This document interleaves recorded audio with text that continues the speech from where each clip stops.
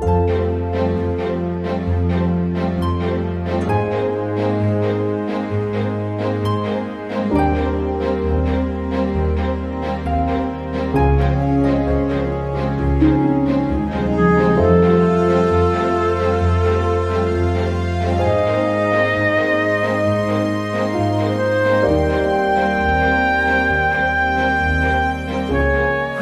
Hello and welcome to my channel. This is Jacqueline. Do you love The Wizard of Oz? How about Wicked? Do you like that one? Have you ever thought of throwing a Wizard of Oz theme party? But you thought it was just for kids? No, no, no, no. In this series, I'm going to show you all about how I threw a fabulous Wizard of Oz party that was good for both children and adults. I'm going to share with you all my DIY ideas, all my little DIY projects that I did, ideas for food, for activities, anything to make it a fabulous and unforgettable Wizard of Oz party. So if you're interested in that, stay tuned and I'll show you all about it. Okay, so the last thing I need to figure out is my tablescape for the party. It won't be here, it will be at my friend's house, but her table's about the same height. I mean, same size. So um, I'm gonna work out uh, this kind of um, it's going to be the Emerald City, but done a little bit differently, not like you imagine. Um, I did see an inspiration picture, which I'll, I'll, put here about what I meant about that. And um, let's see how it goes. Show you what I'm working with. So I found a bunch of vases, plus some candle holders, this cute little glass hat. At the thrift store, I got a really good price for them. I think the whole thing was like $10, so that's pretty good. Some of them were green, as you could tell and then some of them were not. So I spray painted them with this kind of a stained glass spray paint. So that's how they all got green. I let this one alone as well. I like the fact that it's a little different.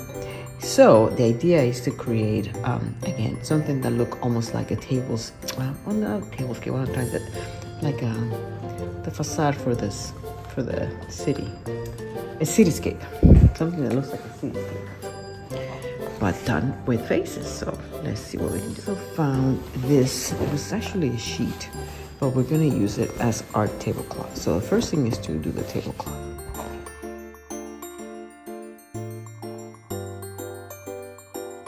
Okay, so I set the tablecloth, I gave it a, a quickie ironing to make sure it didn't have any creases. Again, this is actually a sheet, not a tablecloth, so it's very soft, which is nice. So I'm actually it ironed pretty well. So now the next thing is gonna be to put a runner. I have three, actually maybe four in contention. I'll show you what the options are. This is number one.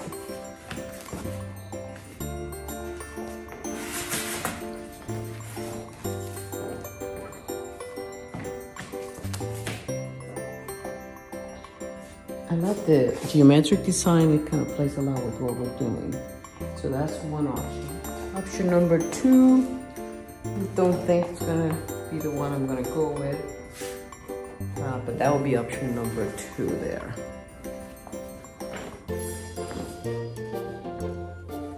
But I could use it for somewhere else though.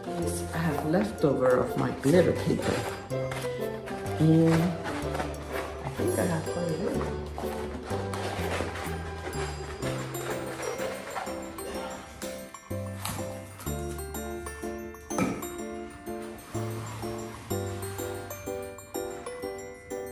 Okay, so I had a little extra gold fringe from when I did my magic carpet, right? So I went ahead and added it at the bottom, at the edge, you know. I went ahead and added it to the edge of each side, so it looks more like a runner because really it's just, it's really glitter contact paper is what it is, but who says you can't use it? Okay, so now we got that. Let's move on to try our vases in the middle. When I went shopping for vases for this at the thrift store, I wanted to make sure that I had um, pairs because I knew that could make it really symmetric. So I got two of those and I got lucky that this place had that. Um, I got two of these, two of these. So um, the idea is to start from the middle and kind of do a very uh, symmetrical kind of thing. So this was my high point, so I know this is my center. And then we're gonna go from up to low. So, um, and again, I could even change this by giving this more height, but that's kind of the idea. The idea is to kind of match the heights on both sides.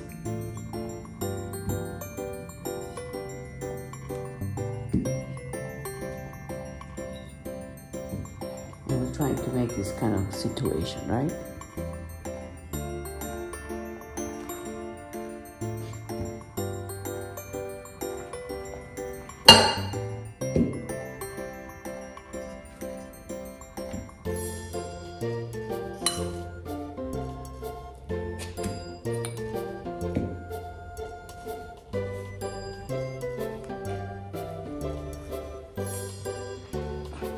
And the little wizard's hat.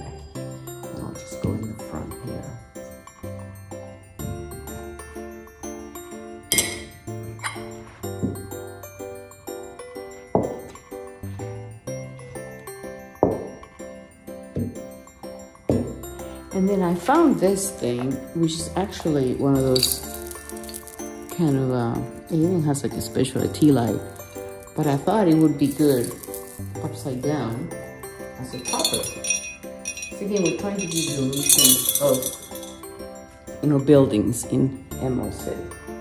So, I think that's all my pieces.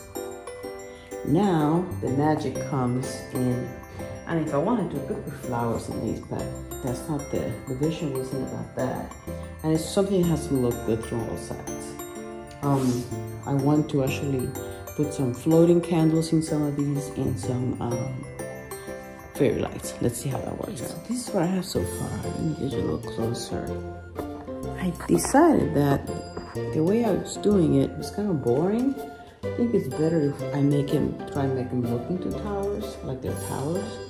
So this is what I have so far. And I like the fact my inspiration point, my inspiration picture had like a little path. I think it kind of makes it kind of read better as like you're entering Emerald City through there. And it's kind of like the main thing of Emerald City, the main thing. Um, so I think I'm gonna go with that. I'm still playing with it. I might put some of this little balls spread out after I put my lights. I'm gonna do my lights first. See how it all works out. And these ones, even though they're blue, they're sort of really looking like greenish, you know, with all the reflection of everything else. And then I'm gonna put them together with um, some uh, wax. But I'm still playing around because there's some of these in the back that I'm still debating about. Like, I mean, maybe I wanna put this like this. Uh, I think I like it the other way better. So I tried it this way. I think I like it better this way. Oh, but it's not gonna stay though. Hmm. Oh, that's not good. Anyway, I'm still playing with this one. If I put, give it a little wax, it will stay, the earthquake wax, it will stay in place. It's more deciding whether that's what I want or do I wanna do something else.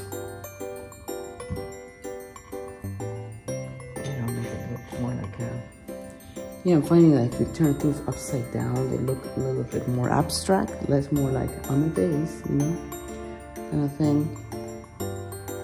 See, I don't like that these two are so close together. It needs more height here, so I think I'm gonna go with that. I think once I put the the wax on, it'll stay in place better.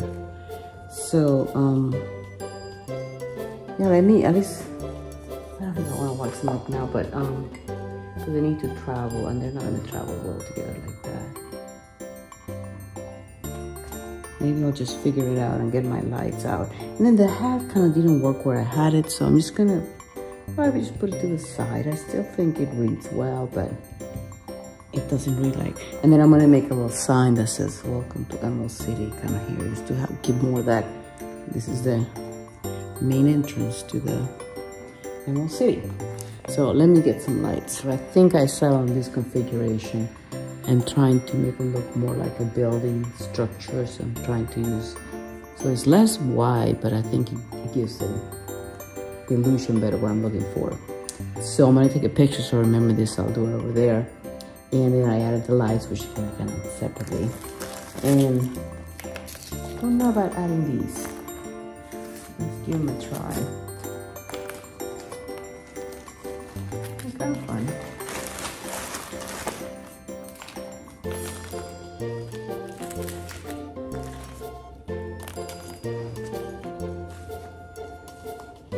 Now I've gotta make the sign and then I'll be done.